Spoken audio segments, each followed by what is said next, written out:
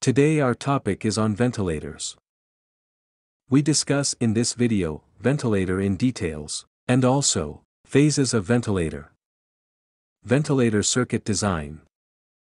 Ventilator alarms. If you are new on my channel please subscribe to my channel for more videos, thanks.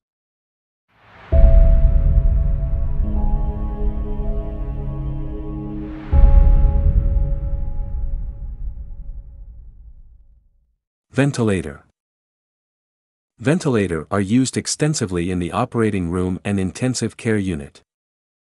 All modern anesthesia machine are equipped with a ventilator.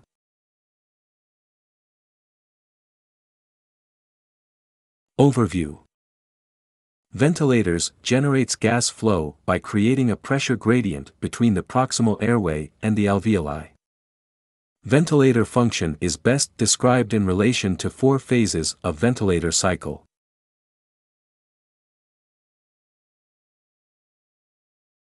Inspiration The transition from inspiration to expiration. Expiration and the transition from expiration to inspiration. Other classification categories may include Power source, Control mechanism, Inspiratory phase. During inspiration, ventilator generate tidal volume by producing gas flow along a pressure gradient. The machine generate either a constant pressure or constant gas flow rate. Transition phase from inspiration to expiration. Termination of the inspiratory phase can be triggered by a preset limit of time. A set inspiratory pressure that must be reached, or predetermined tidal volume that must be delivered.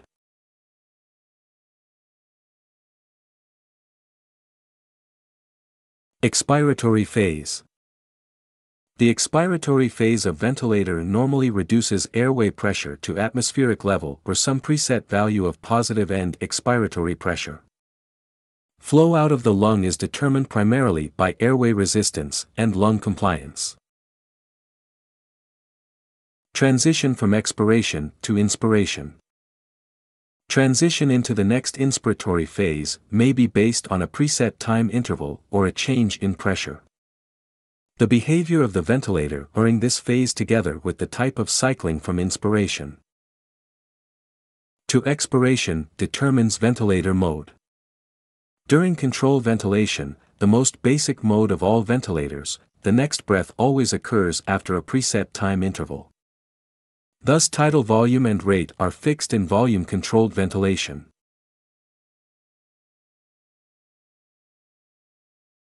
Ventilator circuit design.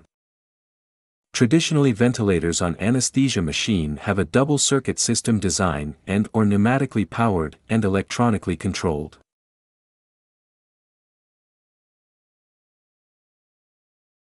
Double circuit system ventilators.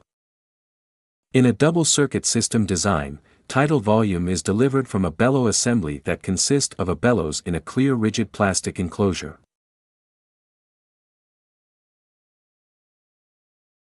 Piston ventilator. In a piston design, the ventilator substitute an electrically driven piston for the bellows. The ventilators requires either minimal or no pneumatic power.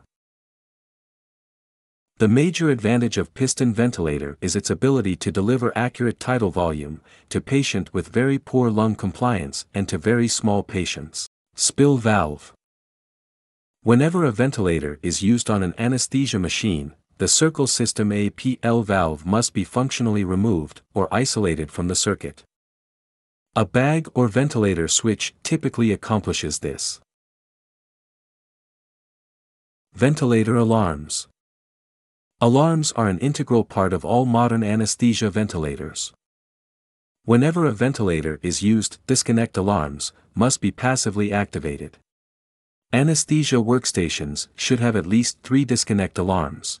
Low peak inspiratory pressure. Low exhaled tidal volume. Low exhaled carbon dioxide. Thanks for watching. Anesthesia with Dr. T. Please subscribe to my channel for more videos. Thanks.